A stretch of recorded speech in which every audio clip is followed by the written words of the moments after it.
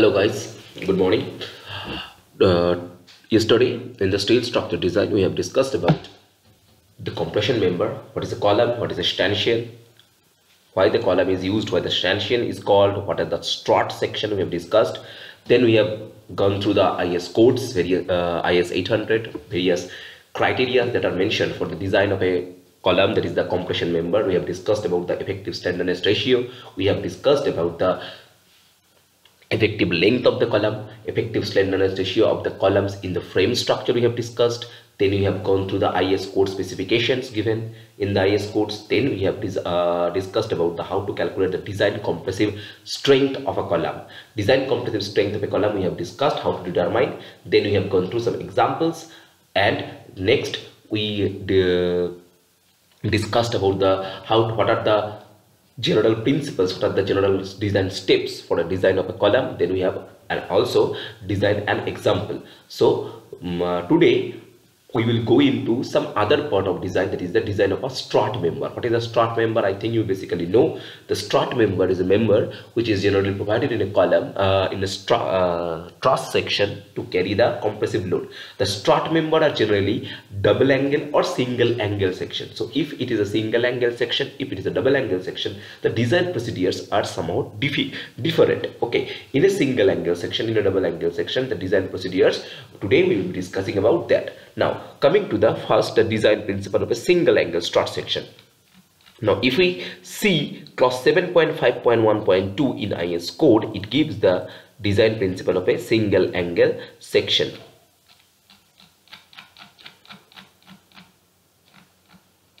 This is the 7.5.1 single angle strut section. That uh, in this code it is uh, assume that the single angle strut section will be connected to the gusset plate by its one length and another length will be free. So this is the basic first criteria that we had to we has to clear. So one one leg will be connected to the gusset plate here. So then if it is the case if one leg is connected to the gusset plate that means the load is coming to one plate on one leg only then the effective slenderness ratio will be based on the following formula the effective slenderness ratio will based on the following formula as I have also give it in my code. So there are some factors k1, k2, k3, lambda vv and lambda phi. First coming to the k1, k2, k3 these are the constant depending upon the end condition. That is what is the meaning of end condition? That is the what is that connection that we have used. So if you see in table number 12 the constant k2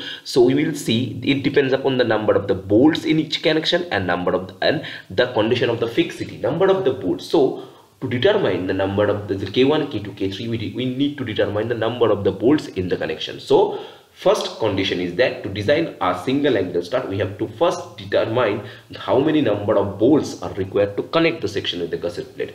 Then based on that, we will determine the value of K1, K2 and K3.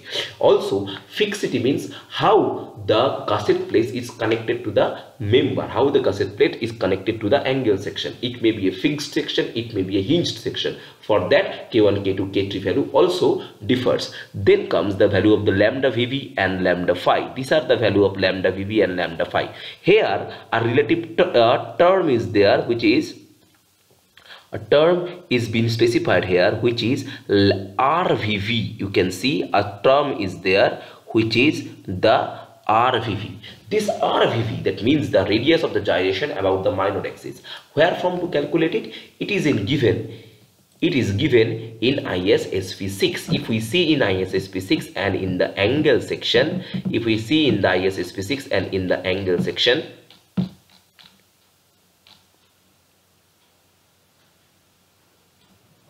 angle section then we can see the RVV value. The RVV value is given here we can see this is the value of RVV. So if any angle we select, we can determine the value of RVV. Can I can put the value. Then depending on the value of RVV and all the values here, we can all the values are specified here. What is L, what is B1, B2, T, epsilons, what are the all the things are specified here. This is the for the single angle case. Now coming to the double angle connection. If it is a double angle connection, so double angle connection are generally of two types. What are the general double angle connection? First one is the as per clause 7.5.2 now coming to the clause 7.5.2 this is the clause 7.5.2 first one is the double angle discontinuous strut connected back to back with a gusset plate that means this connection is like this one. If i if i can draw it here like this if this is the gusset plate this is one angle and this will be the other angle. So this is the first case where double angle discontinuous struts connected back to back. In these cases the effective length of the or the the k the effective the slenderness effective length is k into l. So k value here will be taken as 0.7 to 0.85 so in double angle connection no need to calculate the effective slenderness ratio. Clear? Then comes the second case for double angle discontinuous strut connected by one or more bolt uh, uh, strut gus, um, connected by gusset plate in one side. That means the in this case the diagram will be like this. If this is the gusset plate. This will be the one angle.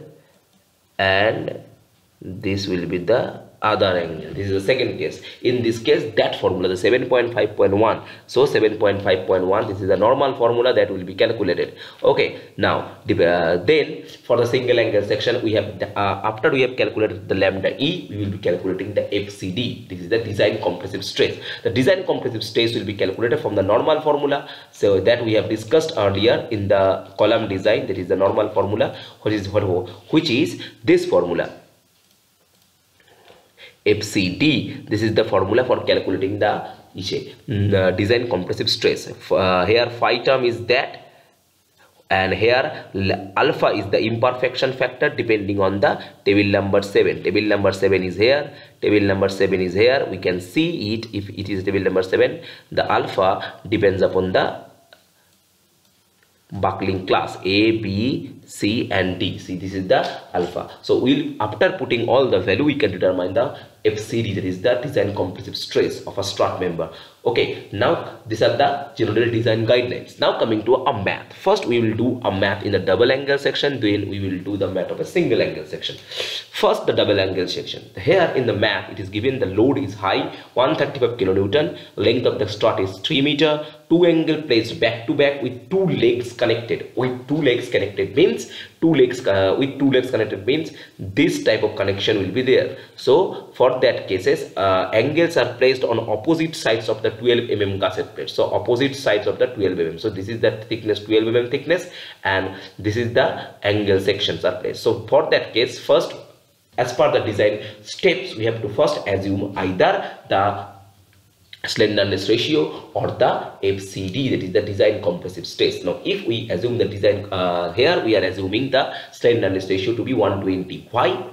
higher value because the amount of the load is also higher so 120 will be the slenderness ratio then following all the things angle section buckling class c why buckling class c we know if it is a angle section then always if it is an angle section always the buckling class c will be taken if we see the chart of buckling class if we see the chart of the buckling class now for angle section always the buckling class for angle channel and T section for angle channel and T section always the buckling class will be any class will be C. So for C sec for correction buckling class C KL by R 120 and FY 250 for FY F6 uh, FU 410 we form 9c from table 9c if we see from table 9c that is the design compressive stress for the buckling class c. If we see for 120 this is the value of 120 we can get the value of 250 it will be 83.7 so we are taking the value to be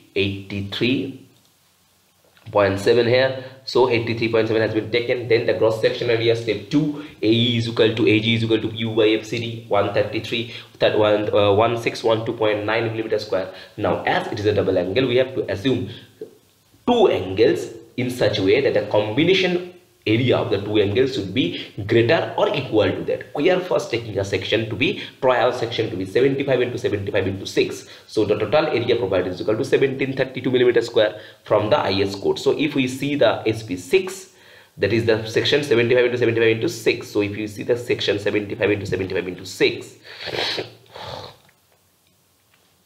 if we see the section 75 into 75 into 6 this is the section 75 into 75 into 6 if we see the total area is 8.66 that is the 866 so total area is equal to 1732 also now we have to check what is the minimum radius of gyration. As it is a double angle section so no need to determine the effective slenderness ratio. We have to determine the slenderness ratio in the normal conventional way. So we have to check what is the minimum radius of gyration. So r minimum. So first we have to check in the xx direction then yy direction.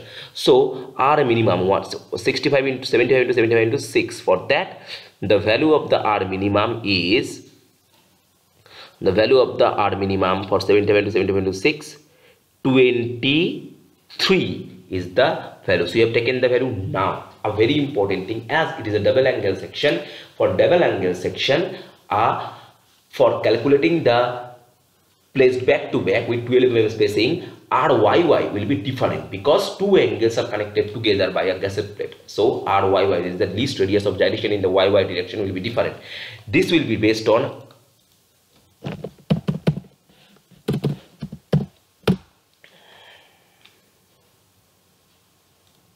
So for a double angle back to back, the value of the RYY will be somehow different.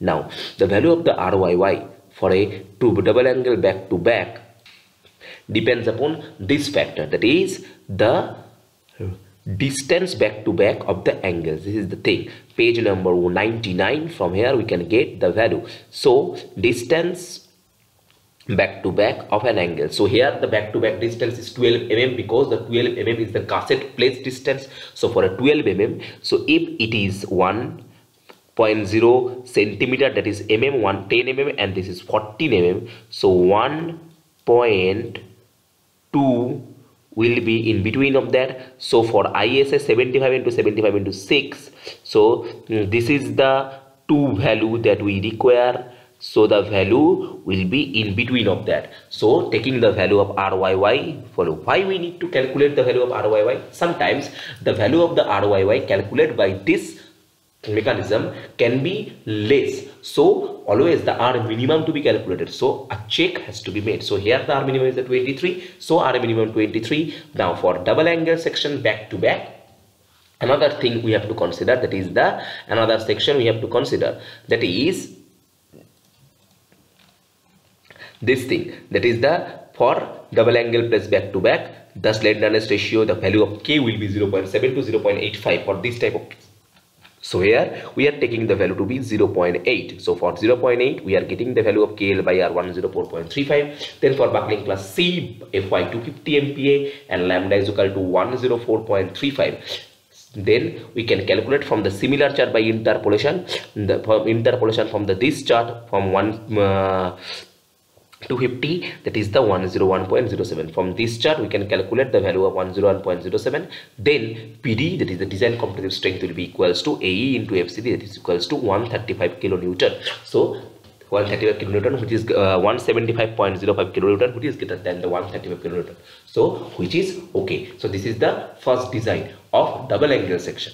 Now coming to the a single angle section. Here the single angle section carrying a load of 65 kilonewton, length 3 meter, connected with the gusset plate by 20 mm, 4.6 plate load, di diameter of the gusset, uh, dimension of the gusset plate, 12 mm thickness. So step 1, first we have to assume either the slenderness ratio or the FCD. Assuming here the FCD. In the previous math, we have assumed the slenderness ratio. Now we are assuming the FCD. Now, in the design procedure. We have uh, in the design procedure of column we have discussed that the that is uh, fcd should be um, in between 0.4 to 0.6 now if the load is uh, on the higher side 65 is a very higher load. So taking in the value of 0.4 fy 100 mpa. Okay? Now depending on so always the angle of the buckling class c. So buckling class so buckling class c fcd is 100 mpa. Now the required a will be pu by fcd this is the formula. We are getting a 650 millimeter square. Now assuming the trial section to be isa 65 into 65 into 6 now check. Now see if 65 into 65 into 6 is sufficient or not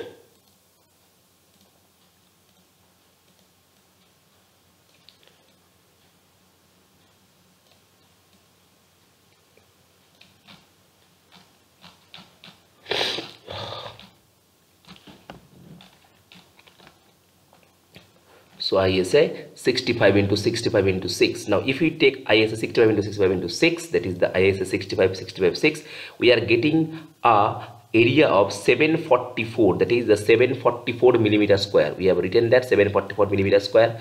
Now the single angle section we have to determine if we see in our notes that we have to determine the value of k1 k2 k3 so we have to first design the connection. That is the number of the bolts we need to determine.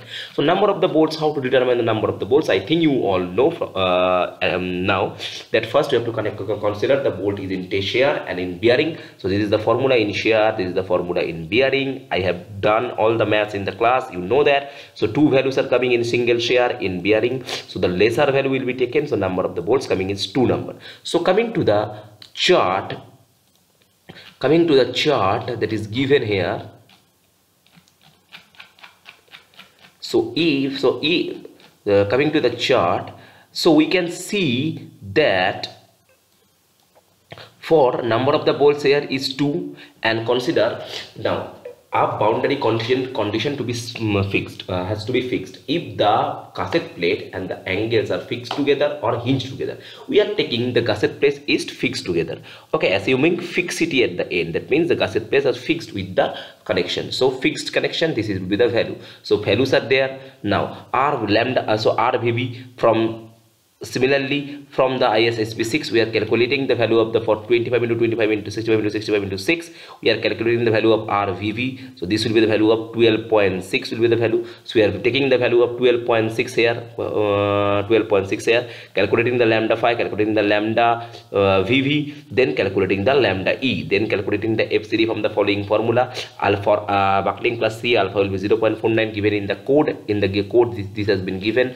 The value of alpha will be 0. 0.49 for buckling class C where we can see that 0.49 then we calculate the value of the FCD now here the FCD is 61.0.0.0948 so if we multiply with with the A we are getting a value of the design compressive strength less than 65 kilonewton. So the design has failed. So the redesign will be required. So this will be your today's assignment. Design the member taking trial section as ISA 17 to 17 to 8 with 8.3 kg per meter. So in the assignment we will redesign the member taking the trial section as this one. Okay? So up to this this is the design of the angle strut section now in the next lecture we will be starting about design of built up members. Now these are the normal rolled section. Where the load is lower. So now sometimes there are load will be higher. For that uh, built up sections are required. So today uh, the next lecture we'll be discussing about what is a built up section and how does it how what are the design procedure to design the built up section. Okay? Thank you for your